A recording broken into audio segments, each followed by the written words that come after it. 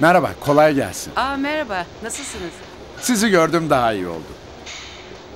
Biliyor musunuz bu salondaki en azimli sporcu sizsiniz. Ne hanımlar ne beyler geldi geçti. Hiçbiri sizin kadar dayanamadı. Ben kolay pes etmem. Ee, ş- Şeref, Aa. şeref hoş adam. Çok hoş bir soyadınız var.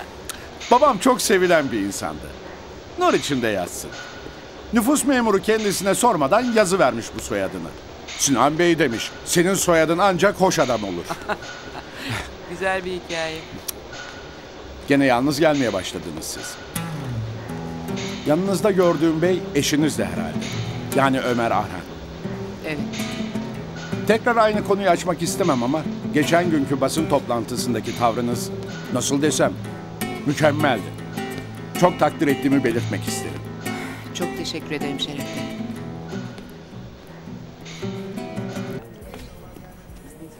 Teşekkür ederim. Teşekkür ederim.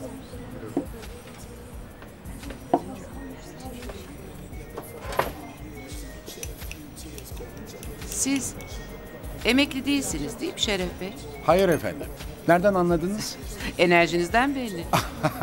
Çok teşekkür ederim. Antikacıyım Bey Hanım. Özellikle de Osmanlı eserleriyle ilgileniyorum. ne kadar ilginç. Peki eğitiminiz de bu konuda mı? Evet. Sanat tarihçisiyim aslında. Yazılı olan bu. Yani kağıt üzerindeki mesleğim. Ama ilgimi sadece teoriyle sınırlandırmak bana göre değil. Çünkü e, af buyurun. Çocukluğumdan beri biraz çöpçüyümdür ben. Aa, estağfurullah. Yok gerçekten öyle. Belli bir yaştan sonra her şeyi toplamaktan vazgeçip biraz daha seçici olmaya başladım. Osmanlı antikalarına da bu yoldan geldim zaten. Özellikle ilgilendiğim eşyalar ise takılar, tokalar, kemik taraklar, kemerler, broşlar, düğmeler. Ya, görmelisiniz. Öyle işçilikler var ki. İnsan hayran kalmadan... Öğleden sonra bir saatiniz var mı Beyye Hanım? Tabii, niye sordunuz? Bana güvenin. Sizi çok hoşunuza gidecek bir yere götüreceğim.